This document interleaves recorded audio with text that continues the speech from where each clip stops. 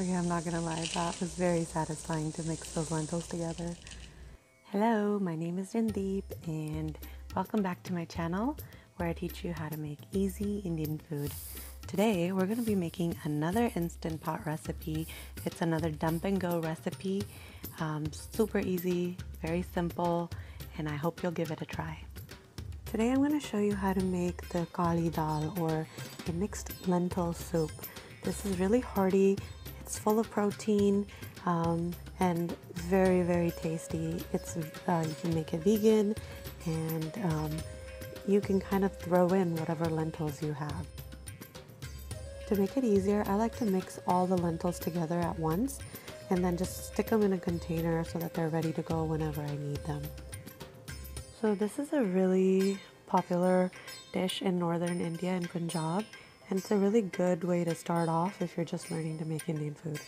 All the ingredients that you see going in here, um, you can definitely grind them instead of chopping them just to make it easier for yourself um, before adding them in. So to make this recipe vegan, you can add oil instead of ghee. I added some onions, tomatoes, ginger, garlic, and I also like to add tomato paste as you know, so I'll be adding a little bit of that.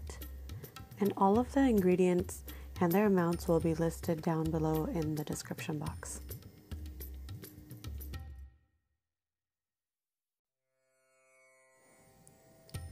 Now I'm going to be adding all the spices in. I start with just a pinch of caraway seeds and cumin seeds, a little bit of red chili powder, which you can add more or less of according to your taste, some garam masala, some salt, and turmeric. So I use pink Himalayan salt, so the quantities for salt, if you're going to be using a different kind of salt, may be different, and also you want to add salt according to your own taste as well. It's always good to put a little bit less than you think you'll need so that way you can always add more. It's harder to fix something if it has too much of salt or pepper or chili powder. All right, we're gonna just give it a quick stir. I added lentils in there.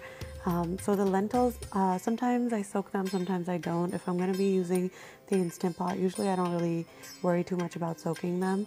Um, but if you want to, you can soak them for about half an hour. Um, and I think that's what I did. It was 20, 20, to 30 minutes of soaking for the lentils after I washed them um, while I was chopping up and prepping all the ingredients. Make sure you give everything a good stir before closing the lid. So there are some pre-packaged mixed lentils you can buy at the regular grocery store or you can even go get all the different packaged lentils from the Indian store if you like. Um, so here we are setting the Instant Pot to the sealing position and uh, putting the pressure cook option on for about 20 minutes. If you soak them for longer than about half an hour, you might want to just um, set the Instant Pot for about 15 minutes. Okay, let's take a look at what our dal looks like. So you can see all the tomatoes kind of floated up to the top. Give this a good mix and uh, make sure that the lentils are soft and fully cooked. And when I give it a stir, you can kind of see how soft those are. And I like to see the chunks of tomato and onion in there, but if you don't, you can always grind those up like I mentioned before and you won't see those. This smells so good right now. Um, this is one of my favorite things to eat and usually I like to eat it with rice, but you can have it with roti. Um, you can have it with quinoa if you like, so lots of protein in there if you have it with quinoa especially. And there we go, our mixed dal or kali dal recipe is done. As you can see, it was really simple and easy to make.